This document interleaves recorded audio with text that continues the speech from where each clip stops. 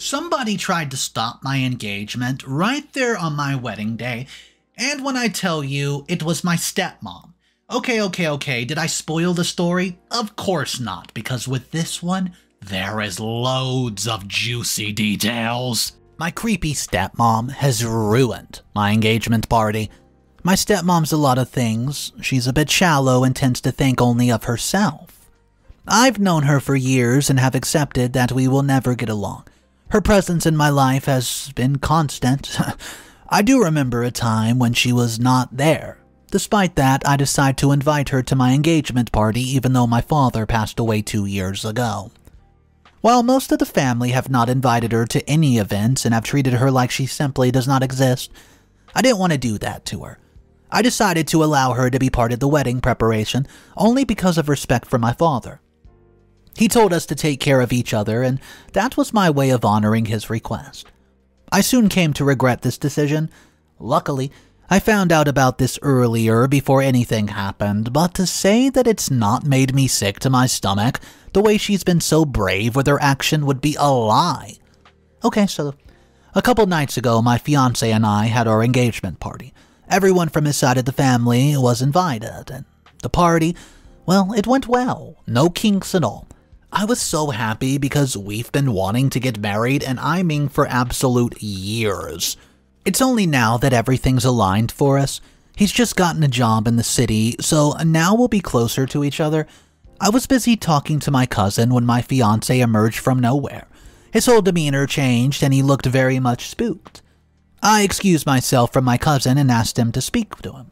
When I asked him what happened, he told me that he could not even put into words. He looked like he was on the verge of a panic attack. So I took him to the corner. There I comforted him and told him to tell me what had happened. He explained to me that, well, what just happened a few minutes ago, and I was shocked. That was the last thing that I thought would happen. Did she have no shame? I need to confront her for the nerve that she had to make such a proposition. It had to be a joke. I saw her coming into the room, looking stoic and unbothered as if she had not committed a sin. To me, it was the biggest sign of disrespect and I've ever gotten from her. Did she not understand how lucky she was to be a part of the engagement? I went up to her and told her to repeat what she just said to Jordan. She looked at me like I was crazy and told me that she had not spoken to Jordan. Jordan's mom was passing by and she asked her why she was lying, and before I could do anything, she slapped my stepmom across the face. She asked her if she did not have any dignity. How could she try to blackmail Jordan into marrying her instead of me? That's right, you read that correct. My stepmom approached Jordan with a marriage proposal. She told him that she had always been attracted to him and could not bear to see him waste his life with little old me. She told him that if he wanted to live a very good life, he would dump me and marry her instead. If he did that, then she would take very good care of him because of the fact that she is rich. My dad left her all of his money, and I barely got anything from him. I did not care when I found out. I had my own job and money and could live within my means. However, my stepmom has been wasting his money, and I fear that she will not even last a decade with it. She tends to spend a lot and act very self important when she has money. I just had no idea that her importance would extend towards asking my fiance to leave me for her. He's a couple of decades younger than her, for goodness sake, and she was stunned when she got slapped, asking my mother in law where she got the nerve, and she pointed at me and told me to kick that woman out. I laughed and told her that I would do no such thing. She then said that she was going to press charges, and I told her Go ahead, I dare her. I could testify that Jordan's mom had gotten provoked. My stepmother rolled her eyes and told us that we were overreacting. She said that she was testing him to make sure that she was with, you know, me for the right reasons. I told her that I had a mother who could do that. She did not need to do that for me. She said that she was very hurt about how I took this and she felt insulted. I told her that her little joke was not funny and she had to apologize. She looked at me like I was crazy, asking me why she had to apologize, and she said she was always joking with people like this and none of them had ever given her a hard time like I was. I told her that she made my fiance uncomfortable and this was not okay. She then said that she would rather leave than have to deal with such disrespect. I told her it's best that she left because she's ruined everyone's mood. The rest of the party went by in a blur. Everyone heard what happened, and I could tell that they were talking about it. They just would never say anything to my face, but they were talking about my stepmom and her proposal. After the engagement party, my future mother in law called me and Jordan. We discussed what happened at the party to great length. We also asked Jordan a few questions, and he revealed that she had always acted a little weird around him, but he never gave it much thought. He did not want to cause a scene, so he never said anything to me. At the time, my dad was still alive, and he had great respect for him, but he said sometimes he felt uneasy around my stepmom and the way that she looked at him. I wish that he told me sooner, so that I would have never invited her. That was what I got for being too nice to her and trying to include her in things, but now I'm not going to do that, especially with how she was been acting for the past week. She's been spreading lies about what really happened at the party, claiming that she suspected Jordan was a gold digger, so she offered him money to leave me, and she claimed that she did it for my dad, who told her to take care of me. So now people in the family have been messaging me, they want me and my mother in law to fix things with my stepmom. Neither I nor my mother in law are interested in that. We have both agreed that she's a predator and cannot be allowed anywhere near my wedding. My father must be absolutely rolling in his grave. She's so disrespectful to his memory. Have all the men in town suddenly disappeared to her to want mine? I get it, I get it, he's incredibly handsome hunk. Smart, hardworking, you name it, but there's other fish in the sea her own age that she can have. It feels so much like when I was growing up and always seemed to be in competition for Dad's affection. Whenever she got his attention, she would gloat. Not verbally, but in her actions, and she would show me that she's better and loved. Now it feels like this is what she wanted to do. She could not even seduce him with her natural charm, that's the sad part she had to offer him money so that he would consider marrying her. Even that money was not enough for my loyal fiance to turn on me. It would be crazy if he just decides that he prefers her over me. I would be absolutely humiliated that I would not even be able to show my face in the same world. Good thing that he truly loves me and has common sense. If he did not, I would be telling you a different story. Anyways, I have to go for now. You know, wedding preparations do await me. I will update you soon.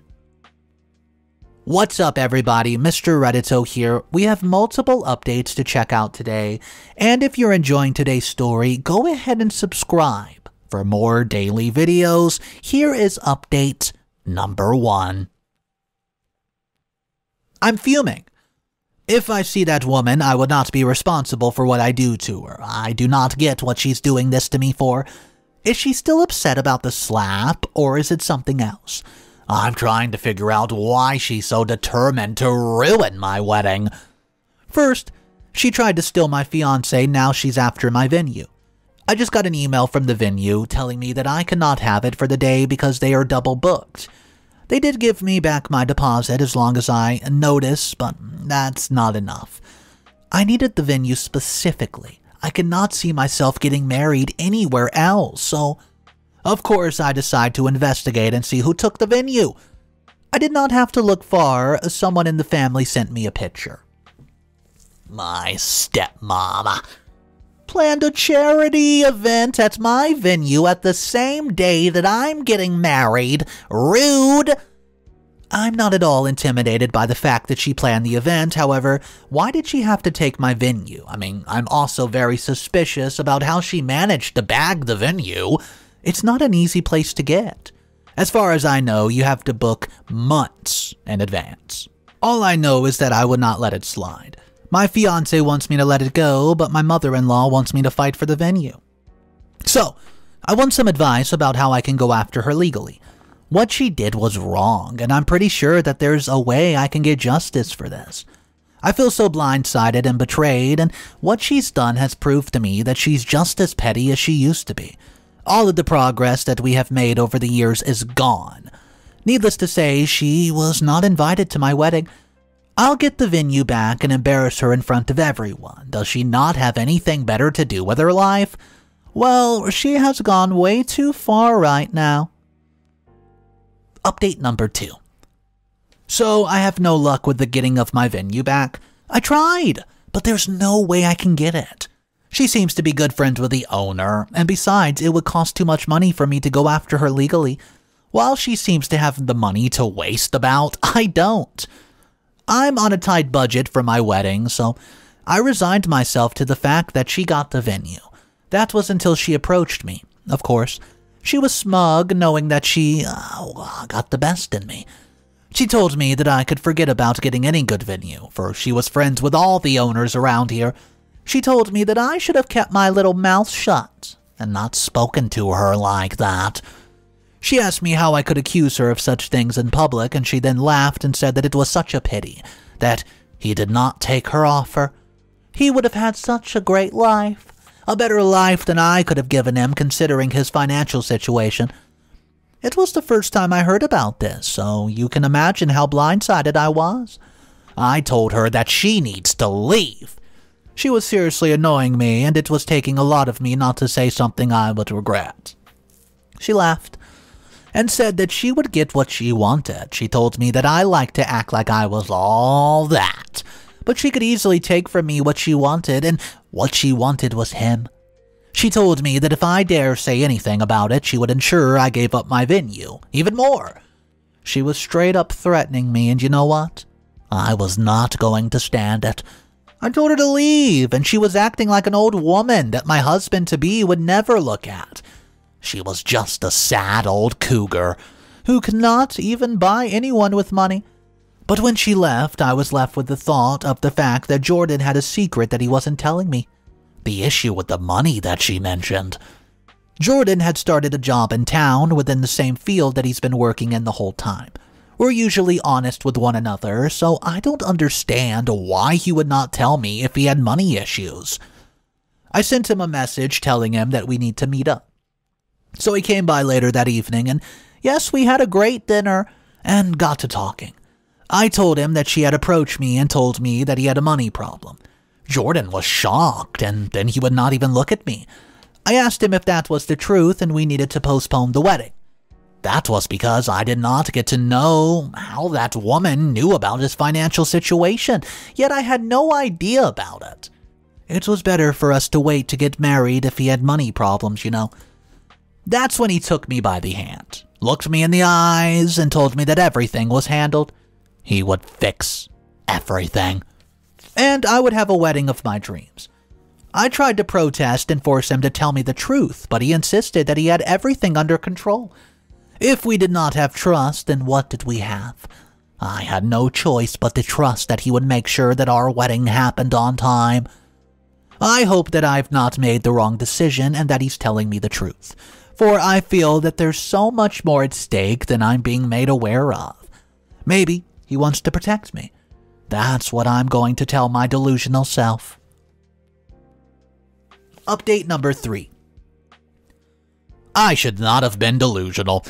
I should have stood ten toes and wanting to find out the truth. Instead, I trusted him. I was betrayed. I was betrayed in the worst way possible. I was left feeling anxious, spiraling out of control with my dreams crushed. She had done it. She ruined my life, and I had let her. And you know what? He helped her do it. A week. A week after I lost my venue, I woke up to a message from her. It was a picture message that was set to view once. I opened it up out of curiosity, obviously, only to reveal my true horror. My fiance was right there, sound asleep in her bed. Ah, he had done it. Eh, he caved into her. I sent her exclamation marks, unsure of what to say because I was so incredibly horrified. She told me to check my email. I did. There I found an email from the venue owner telling me that the venue was available and paid for on my wedding date. Suddenly, my whole breakfast escaped my stomach. I felt physically ill, physically dizzy. The next couple of hours passed by in a daze as I cried and I screamed. I had already forgotten all about the fact that I had to go to work. The only thing that I could think about was that she had won. She's gotten her way. And it was clear that he was willing to participate in this so that I could get the venue. At some point, I retired to my bed and switched off my phone. I woke up to him calling me outside, but I ignored him and tried to get some sleep. I could not deal with that shame. The rest of the week passed by in a blur. I called in sick to work and did not leave the house, and I could not find the strength. My relationship was over.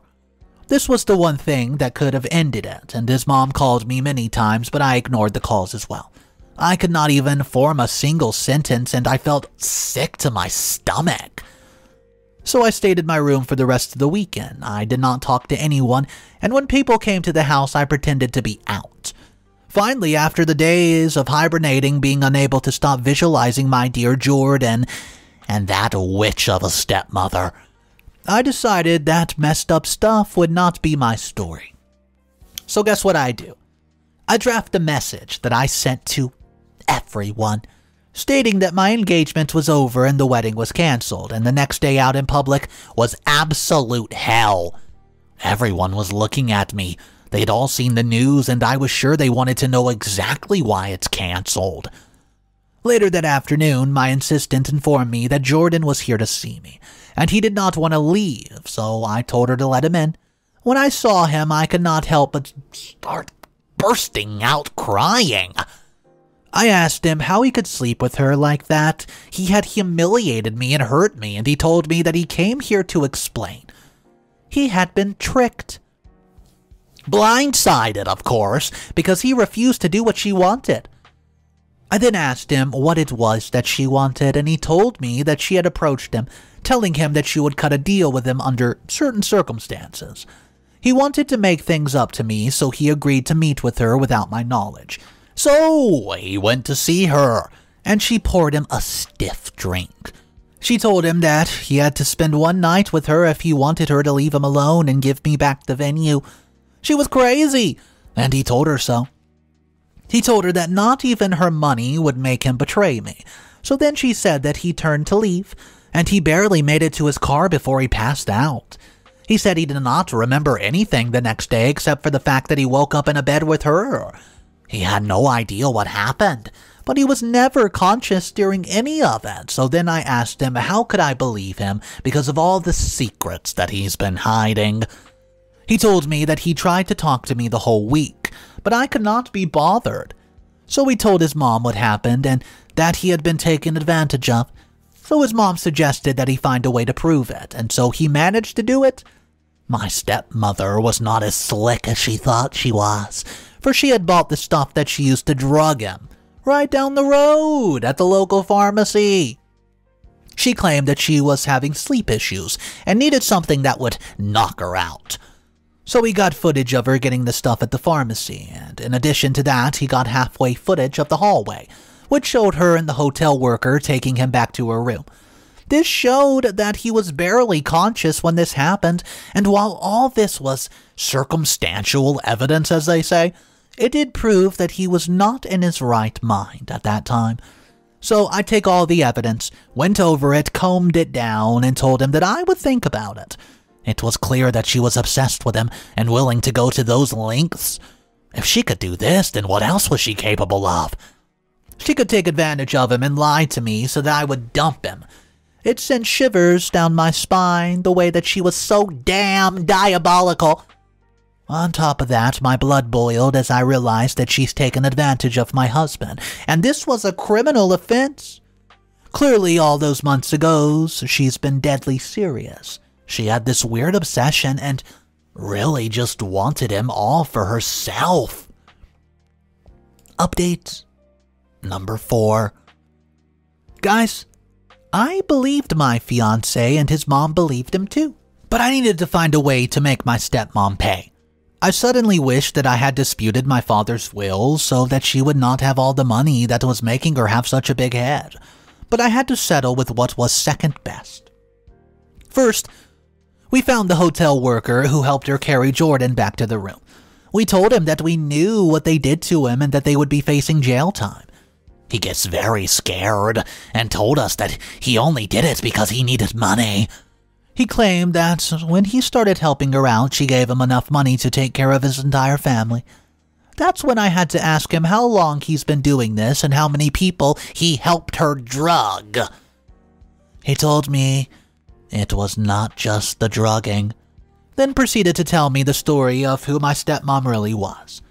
I encouraged him to go to the cops, run to the cops, with what he knew if he wanted to save himself. After that, I sent forth an invitation to all my guests. I said that I would be having a party at the venue instead of a wedding. I still needed her to think that she won, and I had a feeling that she was going to show up, for she would want to gloat in my face that she had gotten what she wanted after all. Ah, Depraved were a person, then it would be her. The next couple of weeks passed by normally. I tried to get my preparations back in order and also worked to get as much proof against her as possible. And then the day of my so called party came. For the first hour, everything was normal. I was interacting with my guest and watching out for her. She showed up not long after and made a beeline for me.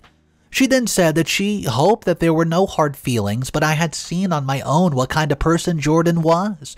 She seemed so self righteous and smug, thinking that she's won.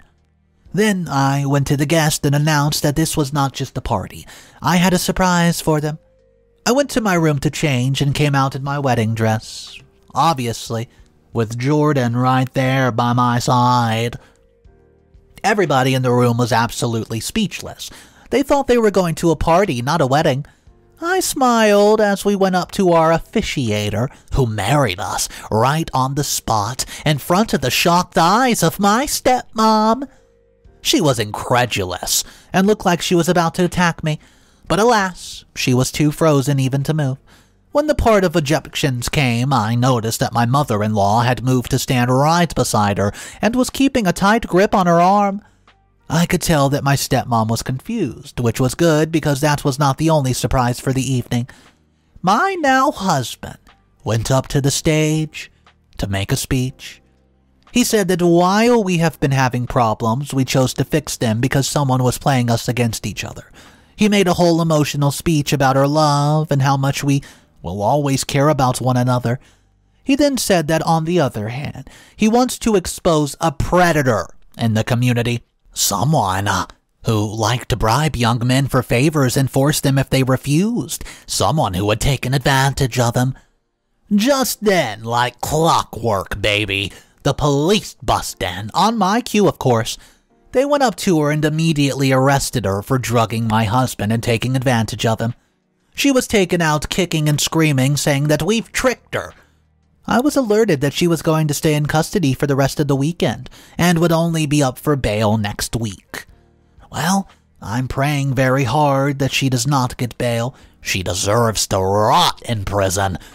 It was not only my husband, but other young men who fell prey to her and her taste. I get that some people are into older or younger people, but forcing people to be with you is crazy. Therefore, one less predator roams the street today because my husband was brave enough to speak up about it. So, OP wants to get married to the love of her life, Jordan, and we have to deal with this insane stepmother. I mean, she's completely off her rocker trying to seduce Jordan, trying to give him money, which is bribery, but luckily, towards the end of the story, we find out she's off the streets. The predator is gone. I want to know your thoughts about this because the comment section was going crazy. Basically, if you were in OP's position, how would you go about handling it? Let me know in the comment section down below, guys. If you're new to the channel, my name's Mr. Reddito, and I narrate stories like this every day. So if you want to, go ahead subscribe. I'll see you guys tomorrow, but please remember, it's cool to be kind. Peace.